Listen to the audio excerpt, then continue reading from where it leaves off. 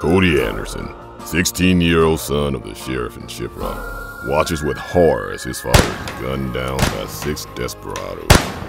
He vows to get his retribution. He trains for two years with Tom, his father's best friend and local gunsmith, to become one of the fastest two handed gunmen in the West. The gunmen who killed Cody's father leave New Mexico to continue their bandit ways.